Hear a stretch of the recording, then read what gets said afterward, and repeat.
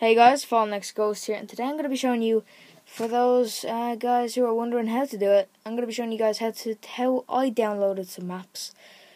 And obviously we're going to need a PC for this. We're going to need a, what the fuck is it called? Oh yeah, a USB, sorry about that. And an Xbox, funny enough.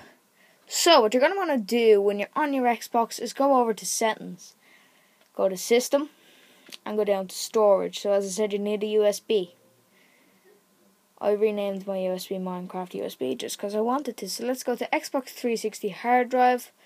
You got your profiles, your demos, your games and apps. So you're going to want to go on to profiles, go to your profile, click on it, move, yes, and move it to your USB. It will sign you out, but um, even though it's not in the Xbox anymore. Literally, your account is no longer in your Xbox. It's on that USB stick that's plugged into the Xbox. So, once I pull that out, even though my account is not on the Xbox anymore, I'll still be signed in. Fun, it's weird.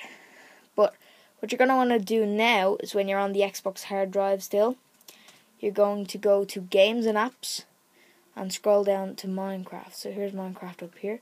Press Y on Minecraft copy. Or the smarter thing to do would be no, just go into Minecraft, pick a world, let's just go with this one.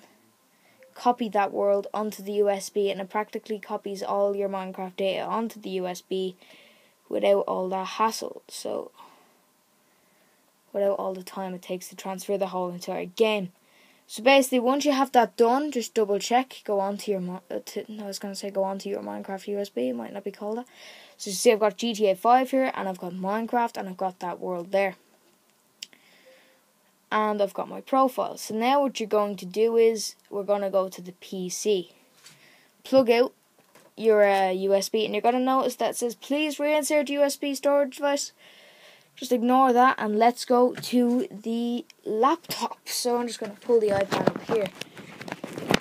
Now, sorry about the fucking camera angle, but you know, it's an iPad, so see, we've got our USB storage here. We're going to just plug that into the laptop, so the iPad's just going to drop there while I plug this in, but no worries, I'll pick it back up. So it makes a little dingy noise and blah blah blah. I don't care. So that's gonna come up. No.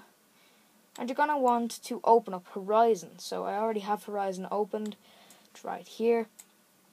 And um, yeah, you're going to need obviously the saved world. So if you're wondering how to get that, very simply go onto YouTube, look up Xbox 360 map downloads or whatever you fancy, like Hunger Games, blah blah blah.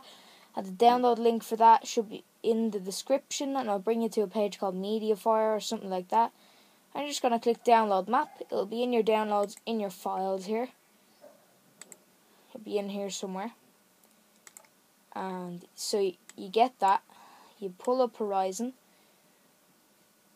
And I will leave the download link for Horizon in the description as well for anyone who's looking for it. And if you can hear my dog barking, I'm so sorry guys. You're going to need to keep it about this size. You got Minecraft USB, you got games. You can even change your theme. That's why I see in the Call of Duty Ghost theme on my Xbox there, I used Horizon to do that. So you just grab your world and drag it in over the USB. It will come up your profile. So if you can't see that, we'll just move it up. It will come up your profile. You're going to click use this profile. And this is the following packages were successfully transferred to whatever your USB name is and that's the name of the map. So you go to Minecraft then, you drag your map over to this grey area. This will happen. This is where you can rename your map. And when you've renamed it, I'm happy with just, let's just leave it as Disneyland. And sorry about the shaking of the iPad, I'm holding it right now and I'm moving and all this crap. So basically, it's called Disneyland now, as you can see. You want to click Save, Rehash, and Resign. Just wait for that to load.